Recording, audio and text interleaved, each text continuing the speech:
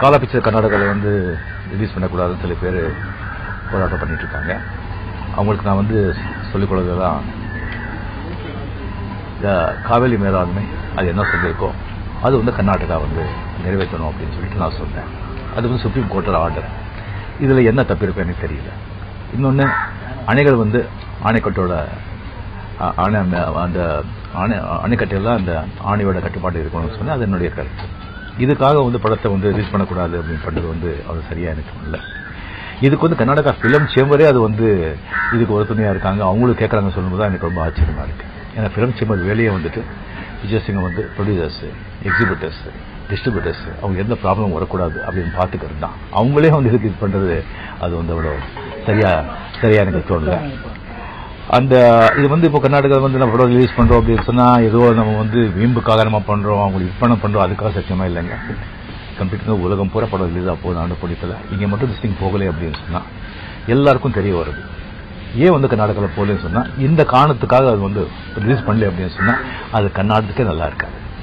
மக்களுக்கு அது நல்லா இருக்கு அது அவங்க தயவு செஞ்சு புரிஞ்சுக்கணும் ஹைகோர்ட் ஒன்று ஆர்டர் கொடுத்துருக்கு படம் ரிலீஸ் ஆகிற தேட்டருக்கு வந்து பாதுகாப்பு கொடுக்கணும்னு சொல்லி குமாரசாமி அவர்கள் வந்து அதை வந்து செய்வாங்கன்னு சொல்லி என்னுடைய நம்பிக்கை இருக்கு அவருடைய மனசு தெரியும் அவர் எந்த இதில் இருக்காங்க என்னால் புரிஞ்சுக்க முடியுது அதுக்கு வந்து இந்த வந்து இது போராட்டம் பண்ணிட்டு இருக்கவங்க வந்து அவங்களுக்கு ஒத்துழைச்சு எனக்கு வந்து பார்க்கட்டும் அதுக்கு வந்து அவங்க வந்து அதை அலோவ் பண்ணணும்னு சொல்லி நான் கேட்டுக்கொள்கிறேன் ಅಂಡ್ ನಮ್ಮ ಕನ್ನಡ ಕರ್ನಾಟಕದ ಸಹೋದರರಿಗೆ ಪಿಕ್ಚರ್ ಬಂದು ಬಿಡಬಾರ್ದು ಆ ಒಂದು ಅಲ್ಲಿ ಇದು ಮಾಡಬಾರ್ದು ಅಂತ ಕೇಳ್ತಿರೋ ನಮ್ಮ ಕನ್ನಡ ಸಹೋದರಿಗೆ ನಾನು ಬಂದು ಹೇಳ್ಕೊಳ್ಳೋದಿಲ್ಲ, ನಾನೇನು ತಪ್ಪು ಮಾಡಿಲ್ಲ.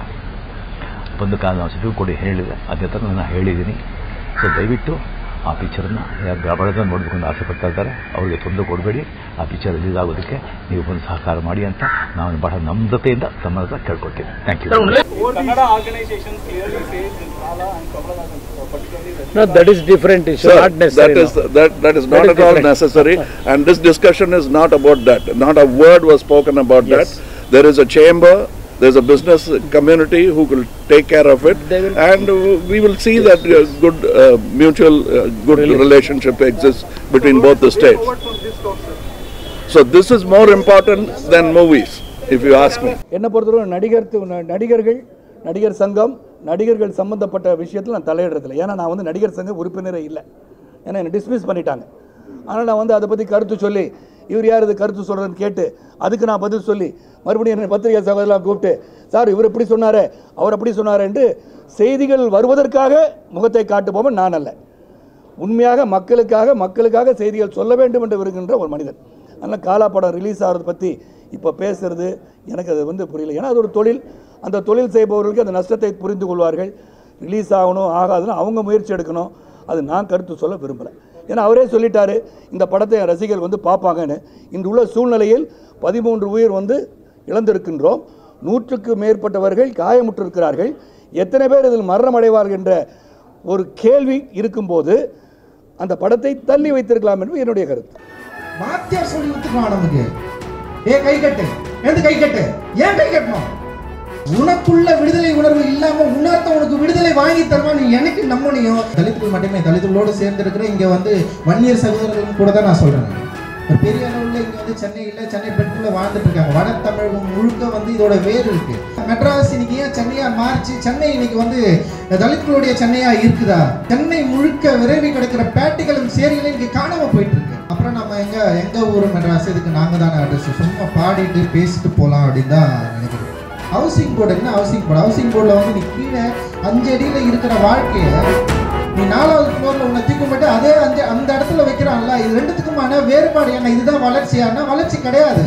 உன் கூட கூடி விளையாடுற உன் வீட்டில் வந்து சாப்பிட்ற உன்னை மச்சான்னு சொல்ற உன்னுடைய மாற்று சாதி நண்பன் கூட உன்னுடைய பிரச்சனையை புரிந்து கொள்ளாமல் உன்னுடன் உருவாடுங்கன்னா அப்புறம் நீ என்ன பண்ற நீ? ரொம்ப வருத்தமாக இருக்குது. நான் ஒரு மெசேஜும் கிடையாது ஒன்றும் கிடையாது. நான் ஒரு படம் எடுப்பேன் அதுக்கப்புறம் போயினே இருப்பேன் நீ என்ன பண்ண போற? உனக்கு என்ன? நான் வந்து ஒரு சினிமாவில் நான் ஒரு படம் எடுக்கிறேன். என்னால் முடிஞ்சது அது. உன்னுடைய தெருவில் உன்னுடைய காலையில் உன்னுடைய சேரியில் உன்னுடைய வீட்டில் நீ என்ன பண்ண போற?